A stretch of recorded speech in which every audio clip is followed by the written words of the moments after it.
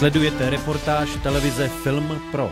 Spravodajství z vašeho regionu.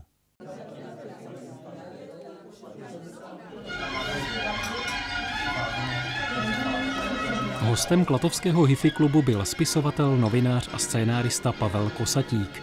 V úvodu zavzpomínal i na 17. listopad 1989.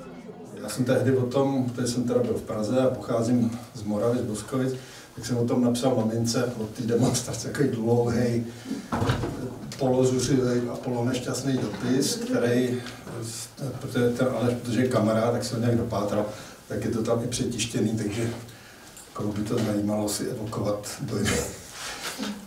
Je, je to pro mě zajímavé tím, že já jsem to toho 17. vyhodnotil naprosto špatně. Vím, že jsem přišel domů a Teď jsem říkal, tak rozstarali mě občanku, mám ty elita, můžu si dovolit úplně všecko, no to je konec, tady je možný úplně všechno.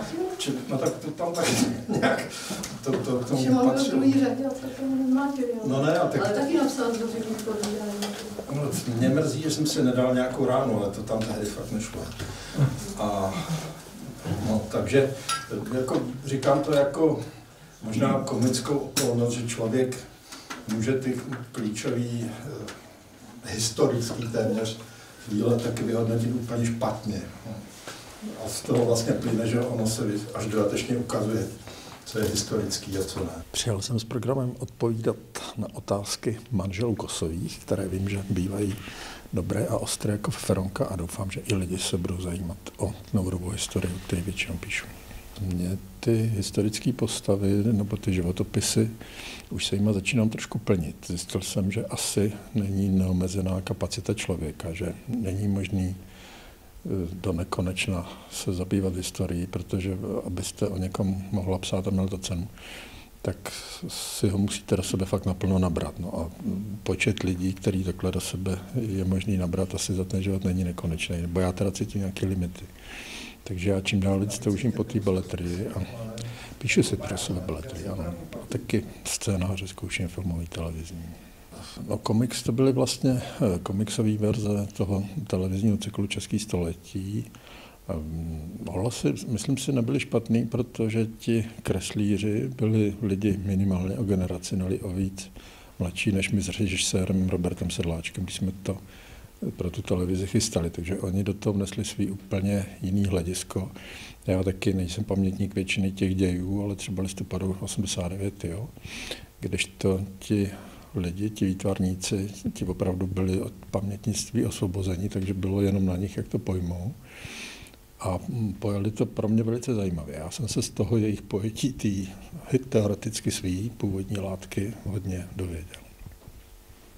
Já, to je těžko říct nejradši, ale nejdůležitější mě přijde 19. století.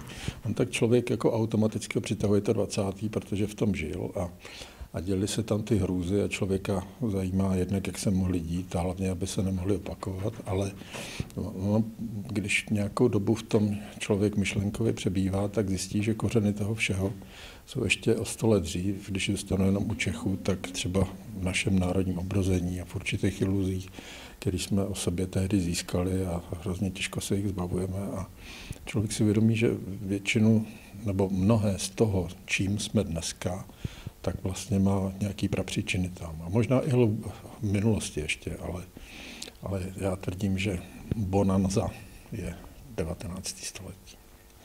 Já si pamatuju to, co mě dalo jakoby nejvíc zabrat, nebo to, to je takový, nevím, jestli komický, když autor takhle vzpomíná, ale mně se těžko dělal ten TG Masaryk, který vyšel loni, to je knížka jiný TGM. Ono to bylo z části daný tím, že ten člověk byl intelektuálně mimořádně neposedný, takže zanechal obrovský dílo. Teď už vlastně skoro od převratu celý jeden ústav vydává to dílo, snaží se vydat znova. Jsou někde u 50. svazku, ještě pořád zdaleka to není celý. No a pak je, pak je tam ještě ten mnohonásobek té sekundární nebo terciární literatury. Já se tady určitě nebudu tvářit, že jsem přečetl všecko, protože to nejde. Ale ty podstatné věci jsem se snažil svědomitě. No a pak teda bylo komický jednak to udržet v nějaký relaci v sobě a, a najít tu svobodu mm, si o tak jako velkým člověku opravdu něco pomyslet, jo? Jak, jako osvobodit se od něj vlastně, od té obrovské zátěže těch slov a myšlenek a, a, a že toho teda on vymyslel. No. A, a navíc je to ještě mravní vzor v mnoha věcech, takže to tam je důležitý, že logicky člověk, když není blbej, tak takovým lidem, jako je TGM, má úctu, ale ta úcta samotná je vlastně při tom psaní překážkou. Jo. Tam, Nemyslím to tak, že naopak neúcta je prospěšná, ale, ale někde mezi tady těmito dvěma krajními polohami musí autor pro sebe najít takovou svobodnou pozici, aby, aby se dovolil opravdu nějakým způsobem dívat i tomu eh, Masarykovi, který byl lepší člověk než já, tak přesto se mu dívat do očí. A No tak, protože když to autor nedokáže, no tak těžko to může dokázat čtenář, kvůli kterým se to dělá. No, tak jsem, tak jako, abych tam se osvobodil, to byla bolest. No. To, ten poslední půl rok předtím, to jsme většinou chodili jenom na záchod a ke kávovaru. To, si ze mě, doma, to už si ze mě ani nedělali legraci ty poslední měsíce, to už si mě štval. Že? Já se snažím prosadit, už je to napsaný se spoluautorkou, jsme udělali scénář čtyřdílný televizní série o Elišce Junkové a chtěli jsme, aby to bylo pořádný, aby to byla, jak se někdy i v české televizi říká, aby to byla takzvaná chytrá televize, aby to bylo na evropské úrovni.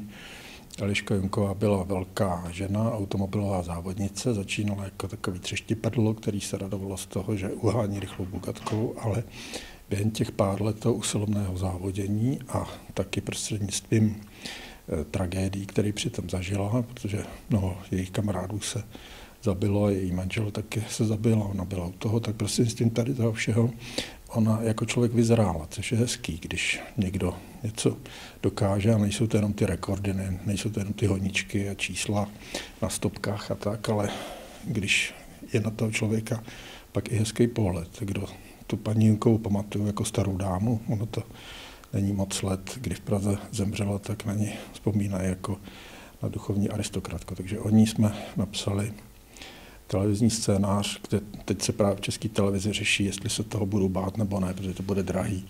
Když startuje 40 bugatek najednou, tak je jasný, že to, no. Ale ona to od těch historických látek jinak nejde. A jestli už nemluvím dlouho, tak ještě je rozepsaná jedna kniha, eh, taky tlustá a má být i o českém skle. No to eh, nejenom o skle uměleckém, ateliérovém, hutním a tak, protože jako takových knih je dost, to jsou úžasný, píšou to historici umění, kterým já nejsem, takže já jim nepolezu do zelí, nebudu imitovat to, co bych ani imitovat neuměl, ale já se tam snažím o takový komplexní pohled na ten svět, navíc teda v časový vývoj někde od toho 13. století, kdy z okolností jsem tady na, nedaleko na Šumovu.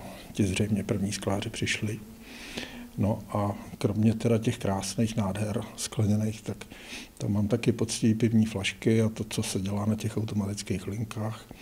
Mám tam tabulový sklo, mám tam skelní vlákna a všechno to ostatní. A, a hlavně ty lidi, kteří to dělají. A, a je to taky takový, když budu patetický, tak je to takový vesmír. No. Je, to, je tam v tom všecko.